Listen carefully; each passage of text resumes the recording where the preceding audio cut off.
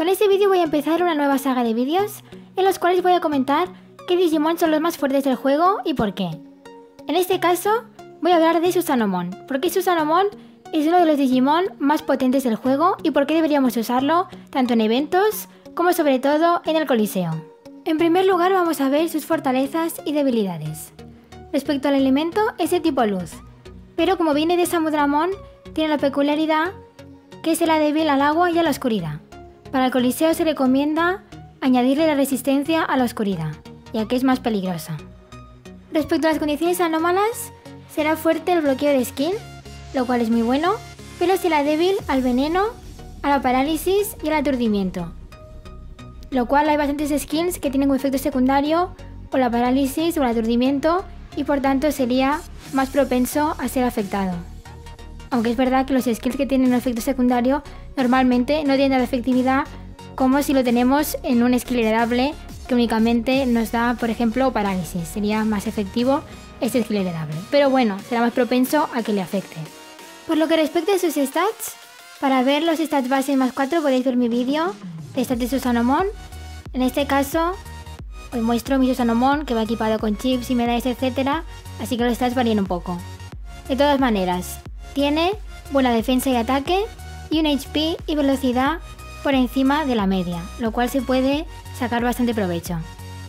La defensa mágica es un poco baja, pero nada que no se pueda arreglar con medallas y chips.